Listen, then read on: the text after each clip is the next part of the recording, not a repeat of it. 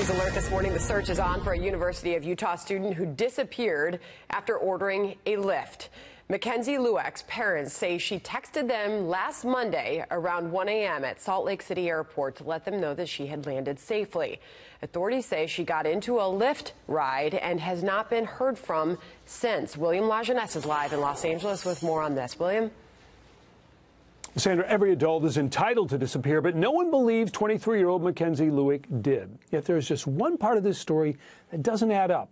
Where did she go at 1 a.m. to an industrial, unfamiliar part of town even her friends say it's a mystery because she did not have a regular boyfriend.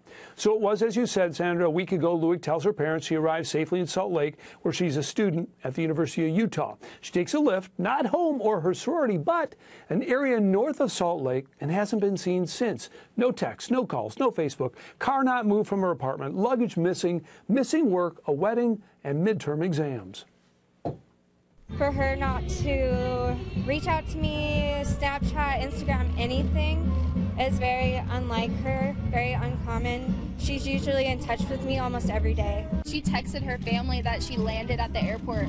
She wouldn't have done that if she wanted to purposefully disappear. Kenzie, if you can hear this, we are all worried and looking out for you 24 7.